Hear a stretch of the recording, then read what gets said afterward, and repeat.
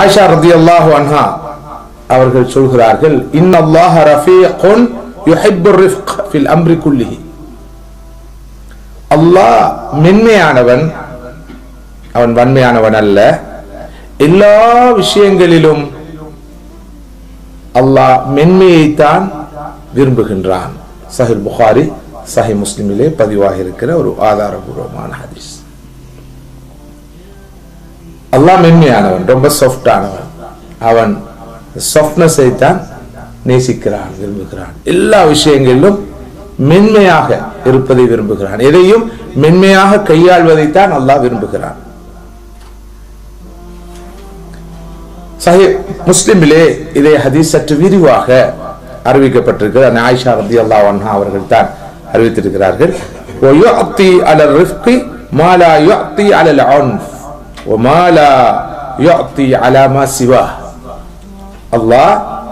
மென்மைக்கு வன்மைக்கு கொடுக்காததை கொடுக்கிறான். வேறு எதற்கும் கொடுக்காததை கொடுக்கிறான். அல்லாஹ் மென்மைக்கு கொடுக்கும் அந்த இடம் வன்மைக்கு கிடையாது. எதையும் மென்மையாக கையாள்வதை அல்லாஹ் விரும்புகிறான். ஏனென்றால் அல்லாஹவே மென்மையானவன் தான். ரஃபீக் என்ற அல்லாவுடைய இந்த திருநாமம் நம்மிடம் எதிர்பார்க்கின்ற விஷயம் என்ன? அல்லாஹ் மென்மையானவனாக இருப்பது போல அவனுடைய அடியார்களும் மென்மையானவர்களாக இருக்க வேண்டும். சொஃப்டானவர்களாக இருக்க வேண்டும். சகோதரர்களே சகோதரிகளே எந்த அளவு தூரம் மனிதர்கள் அல்லாவுடைய இந்த பண்பை இந்த திருநாமத்தை புரிந்து வைத்திருக்கிறார்கள். மென்மையை மிகவும் அரிதாகத்தான் உலகத்திலே என்று நாம் பார்க்கிறோம். எங்கும் வன்மைதான் மிகைத்திருக்கிறது. குடும்ப வாழ்க்கையில் கணவன் மனைவிக்கு இடையிலான உறவில்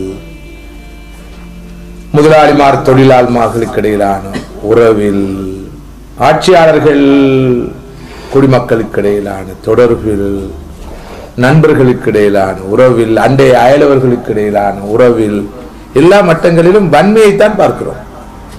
கடும் போக்கைத்தான் பார்க்கிறோம். மென்மையை காண முடியாமல் இருக்கிறது. இங்கிதத்தை பார்க்க முடியாமல் இருக்கிறது. எல்லோரும் இந்த சொஃப்ட்னஸை